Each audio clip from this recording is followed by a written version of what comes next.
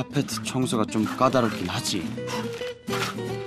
물티슈를 써봤지만 지나고 나면 묘하게 끈적거리는 화학약품이 남는다.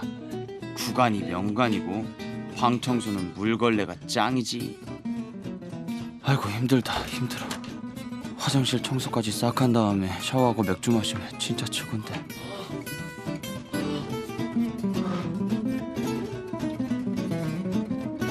샤워하고 나서 냉동실에 넣어둔 맥주가 아리까리하게 차가워지고 뚜껑을 칙 땄을 때 김이 살짝 올라오는 걸 꿀꺽 마시면 목젖이 쨍하고 목구멍이 아릿한 게 익스트림 스포츠 저리 가라 하는 그런 카타르시스가 팍올 텐데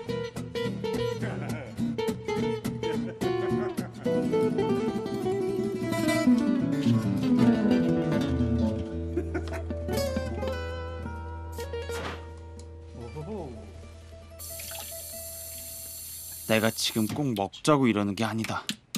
혹시 몸이 갑자기 괜찮아질 수도 있으니까. 아니 다음 주면 괜찮아질지도 모르니까.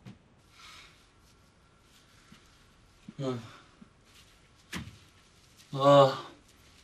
언젠가 좋아하는 음식의 이름을 외치면 급격하게 에너지가 충전된다는 소리를 들은 적이 있다. 맥주!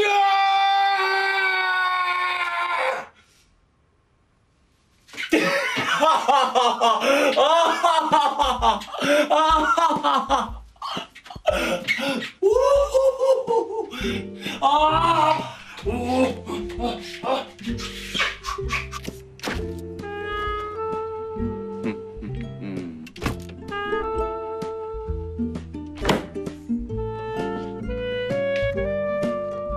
어이 통풍 국가 있고 뭐 통풍은 무슨 죄?